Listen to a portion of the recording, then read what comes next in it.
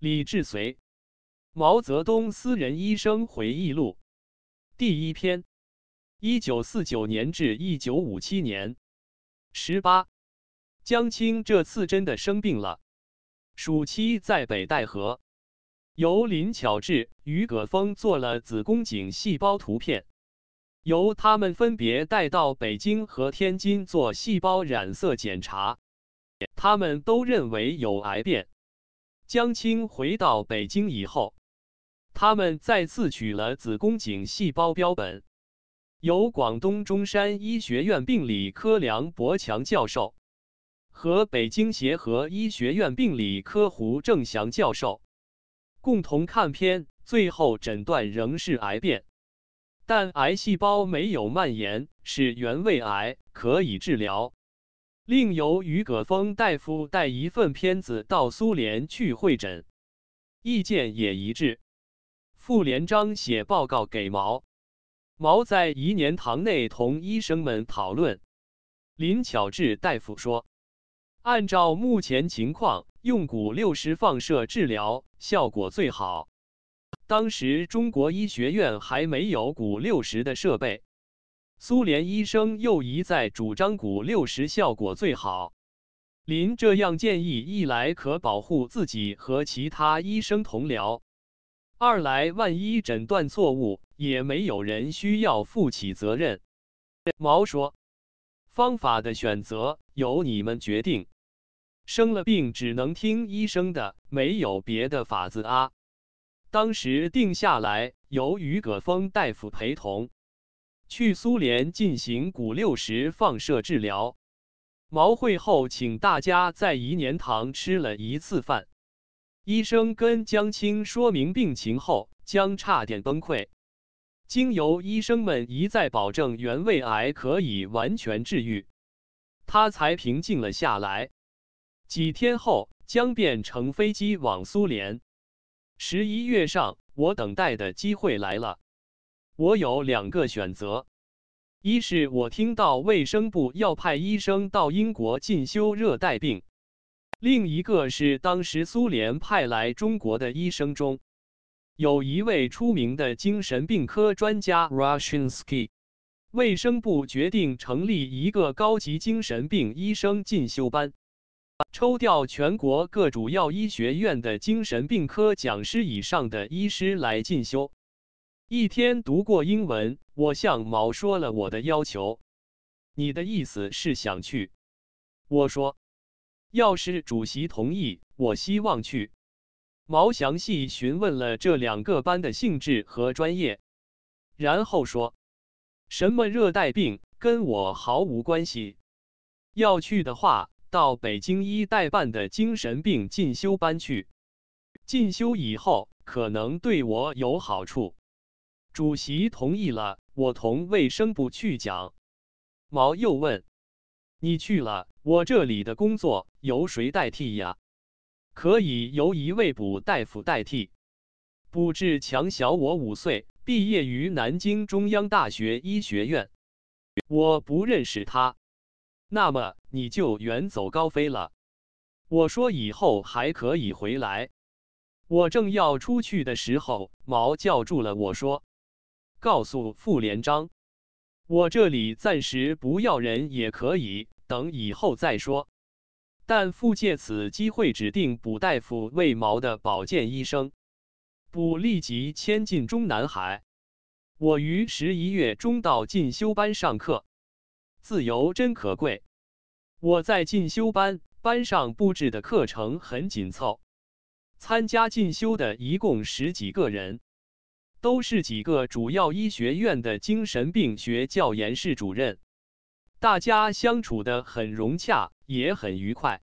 每天复习完专业课程，夜里常常到两三点钟才能休息。北京医院副院长季苏华医生跟我保证，等上完进修班后，他可以介绍我到新成立的神经外科工作。圣贤为了我脱离一组，十分高兴。他说：“我们又可以开始家庭生活了，太好了。”圣贤的父母原本住在南京，到十一月中旬，我们将他们接来北京，同我母亲慎贤和孩子住在一起。一九五六年，南京的公安厅和民政厅知道我是毛的医生，恢复了两老的公民权。公安厅又看到他们年纪大了，将他们的地主帽子摘掉了，定为城市平民。他们极为高兴，心情很愉快。特别在看到我们的两个孩子后，他们从内心中露出喜悦。我仍保有南船务宿舍，但家人很少去住。中央警卫局代局长罗道让原则上放我去北京医院进修，但不同意我脱离一组，不让我搬出中南海。毛以前换了三个医生，罗怕一旦放我走。毛主席需要我时找不回来，可就成了大问题。他并且向中央保健局指出，绝不可以调我到别处工作。参加进修班的医生们都埋头于专业，对外界政治活动并不关心，我也不例外。毛在此时发动百花齐放，百家争鸣。一九五七年二月二十七日，毛号召民主党派人士帮助共产党整风，向党提意见。进修班里也开了好几次这种批评会。我积极专业，没有去开会。外界的劳劳碌碌几乎形同格式。一九五七年春，我仍在进修班研习专业。五一劳动节过去以后。五月四日，我们正在讨论病例。李银桥来医院找我，他说：“主席请你去，他感冒了，不舒服。卜志强大夫不是在吗？可以让他去看。我这里太忙。”李说：“不行，你走了以后，卜大夫去过两次，主席对卜大夫不习惯。”主席也请卜大夫去舞会玩过几次，但卜大夫太紧张，见到主席就会发抖。主席不喜欢他。主席现在没有医生。主席刚从广州回来，江青已经在苏联治完了病，住在广州。他们两人商量定了，还是要你回来。主席叫你，你怎么能不去？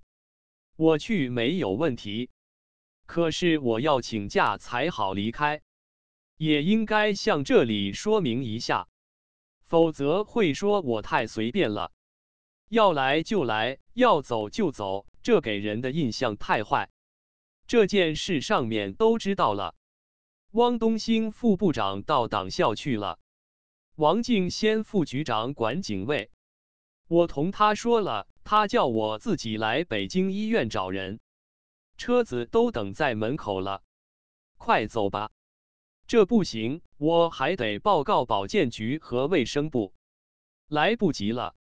主席睡醒后就叫我请你去，耽搁太久，让他等着可不好。你先去看他，完了以后，你再去告诉保健局和卫生部。于是我带着检查身体的用具，同理到了一组。我进到毛的卧室，毛正睡在床上。我看他精神似乎很疲乏，脸色也黄一些。他叫我坐在床边，护士给我泡了一碗茶。我向他问好。不好了，感冒了。感冒有两个多月了，还有些咳嗽。二月二十七号演讲以后，一直没有胃口，不想吃饭。我要求检查一下身体，他同意了。我给他做过身体检查以后，没有发现有什么症状。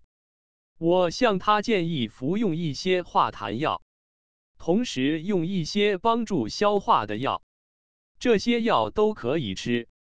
你配好以后交给卫士。告诉他们这些药的作用和服法，你就不必每次由你来给我吃药了。我一面答应着，一面收拾检查用具。毛又说：“你再坐一会。”我又坐下来。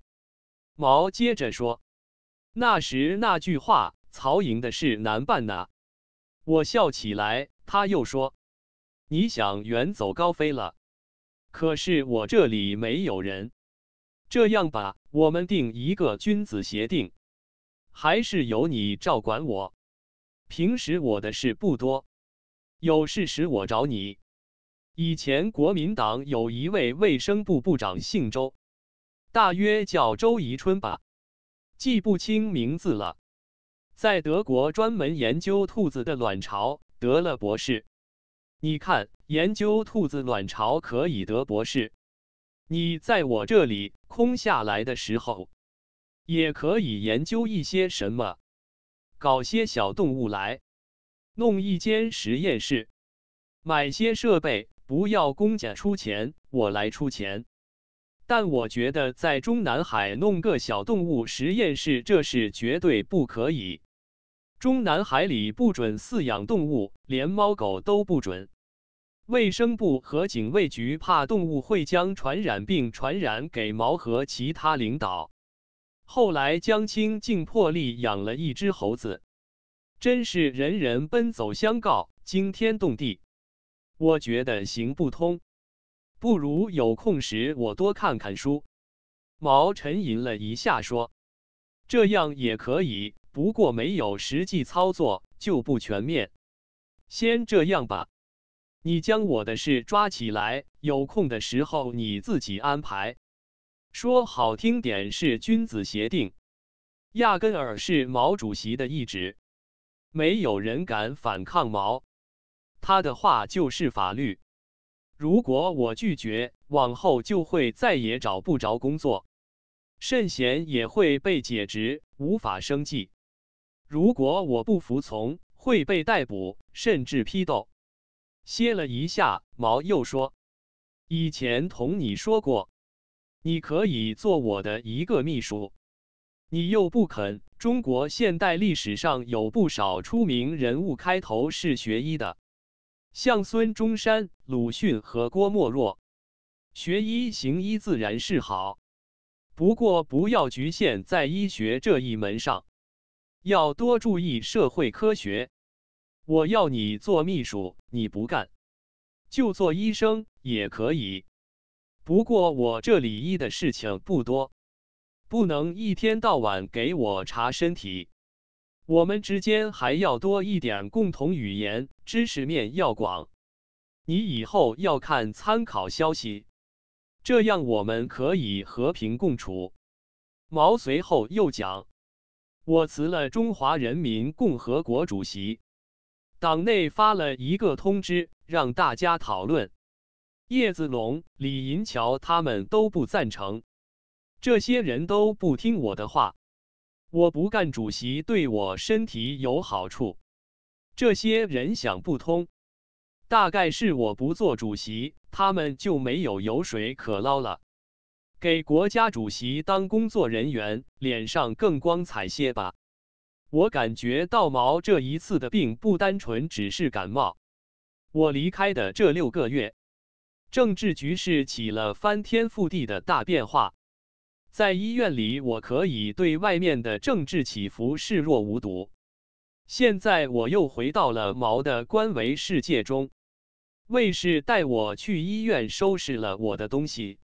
毛召见我的那晚，我就搬回了中南海船务。我又重返一组，以后便再也没能离开。